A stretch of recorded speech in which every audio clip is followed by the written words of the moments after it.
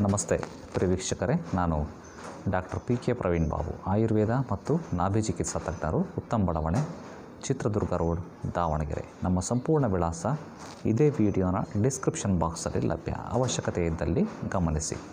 Description ಬಾಕ್ಸನ್ನು ಹೆಂಗೆ open ಮಾಡೋದು? ಅಲ್ಲಿ ಟ್ರ್ಯಾಂಗಲ್ ಶೇಪ್ ಬಟನ್ ಇರ್ತದೆ ಟಚ್ ಮಾಡಿರಿ. ಕೆಳಗಡೆ ಸಂಪೂರ್ಣ ವಿವರ ಲಭ್ಯ ಇದೆ. ಅವಶ್ಯಕತೆ ಇದ್ದಲ್ಲಿ ಗಮನಿಸಿ. ಇನ್ನೊಂದು ವಿಷಯ ಏನಪ್ಪ ಅಂತಂದರೆ ನೀವು ಈಗ ನೋಡ್ತಾ ಇರೋಂತಹ ಯೂಟ್ಯೂಬ್ ಚಾನಲನ್ನು ಹೊರತುಪಡಿಸಿ ಮತ್ತೆ ಮೂರು ಯೂಟ್ಯೂಬ್ ಚಾನಲ್ಗಳು ಯೂಟ್ಯೂಬ್ನಲ್ಲಿ ಲಭ್ಯ.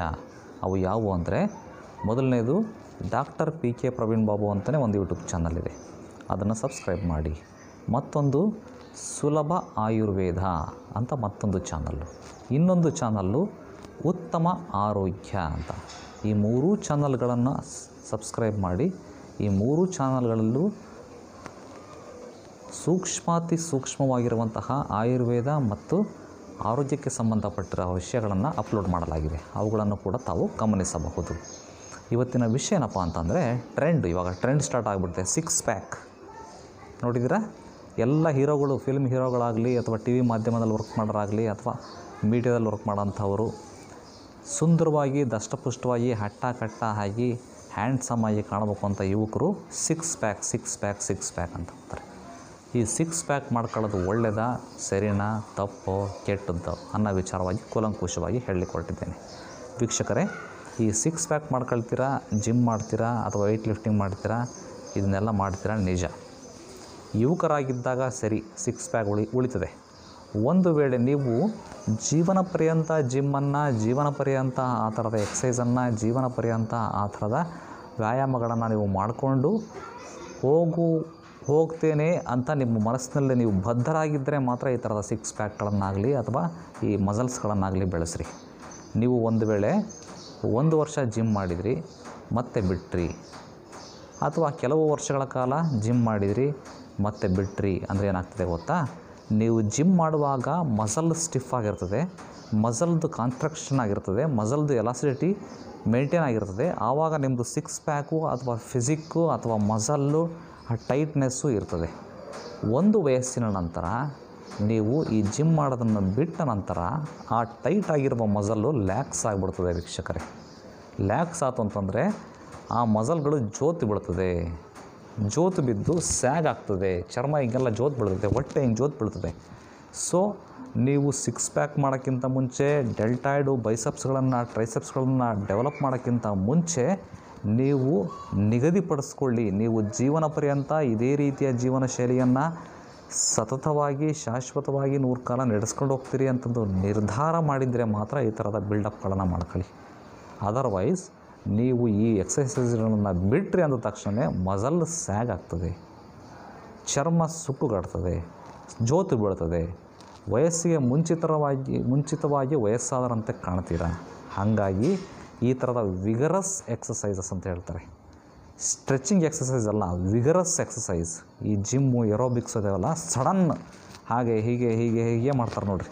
ಅಥವಾ ಎರೋಬಿಕ್ಸು ಸಡನ್ ಫಾಸ್ಟ್ ಆ, ಹೂ ಆ ಹೂ ಒನ್ ಟೂ ತ್ರೀ ಫೋರ್ ಅಂತ ಹಿಂಗೆಲ್ಲ ಮಾಡ್ತಾರಲ್ಲ these these are all vigorous exercises vigorous ಎಕ್ಸಸೈಸಿಂದ ನೀವು ವಿಗರಸ್ ಆಗಿ ಬಾಡಿಯನ್ನು ಬಿಲ್ಡಪ್ ಮಾಡ್ಬೋದು. ಅಷ್ಟೇ ವಿಗರಸ್ ಆಗಿ, ಅಷ್ಟೇ ಫಾಸ್ಟಾಗಿ ಬಾಡಿಯನ್ನು ಹಾಳು ಮಾಡ್ಕೊಳ್ಳೋ ಸಾಧ್ಯತೆ ಇರ್ತದೆ ವೀಕ್ಷಕರೇ.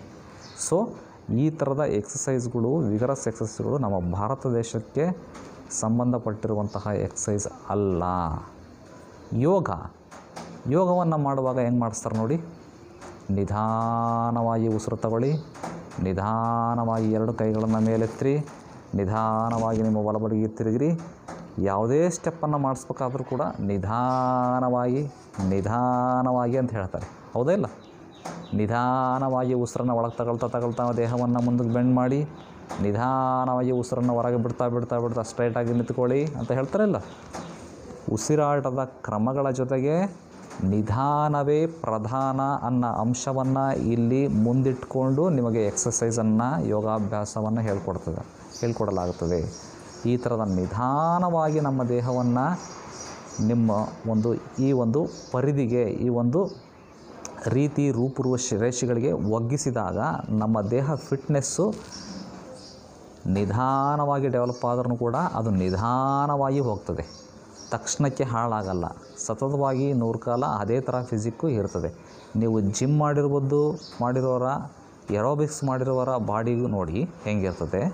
ವಿಗರಸ್ ಆಗಿರ್ತದೆ. ಅಂದರೆ ರ್ಯಾಷ್ನಲ್ ಆಗಿ, ಅಂದರೆ ರಾಜಸಿಕ ಬಾಡಿ ಇರ್ತದೆ ಅವ್ರದ್ದು. ಒಡಿ, ಬಡಿ, ಕಡಿ ರೀತಿಯಲ್ಲಿ.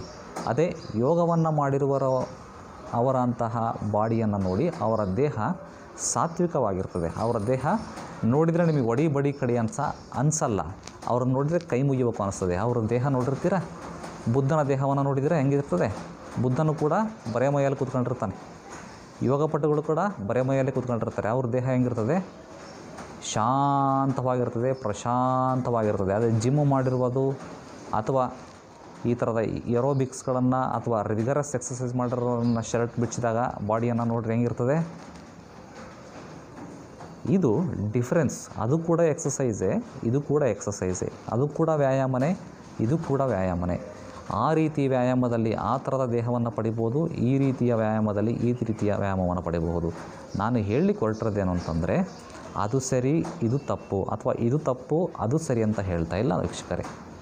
ಯಾವುದರಿಂದ ಹೇಗೆ ಯಾವ ರೀತಿ ದೇಹ? ಯಾವ ರೀತಿ ದೇಹವನ್ನು ಪಡ್ಕೊಂಡ ಮೇಲೆ ಯಾವುದು ಶಾಶ್ವತ, ಯಾವುದು ತಾತ್ಕಾಲಿಕ? ಅನ್ನೋದನ್ನು ನಾನು ಕೂಲಂಕುಷವಾಗಿ ಬಿಡಿಸಿ ಹೇಳಿದ್ದೇನೆ. ನೀವು ಯಾವುದನ್ನು ಮಾಡ್ತೀರಾ ಅನ್ನೋದನ್ನು ನಿಮ್ಮ ನಿಮ್ಮ ನಿರ್ಧಾರಕ್ಕೆ ಬಿಡ್ತೇನೆ. ನೀವು ಸಂಪೂರ್ಣ ಸ್ವತಂತ್ರರು.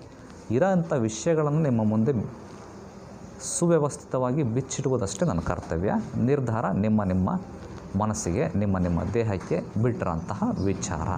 ಈ ವಿಷಯವನ್ನು ಎಲ್ರಿಗೂ ಶೇರ್ ಮಾಡಿ. ಮುಂದಿನ ಸಂಚಿಕೆಯಲ್ಲಿ ಮತ್ತೆ ಭೇಟಿಯಾಗೋಣಂತೆ. ಧನ್ಯವಾದಗಳು ವೀಕ್ಷಕರೇ.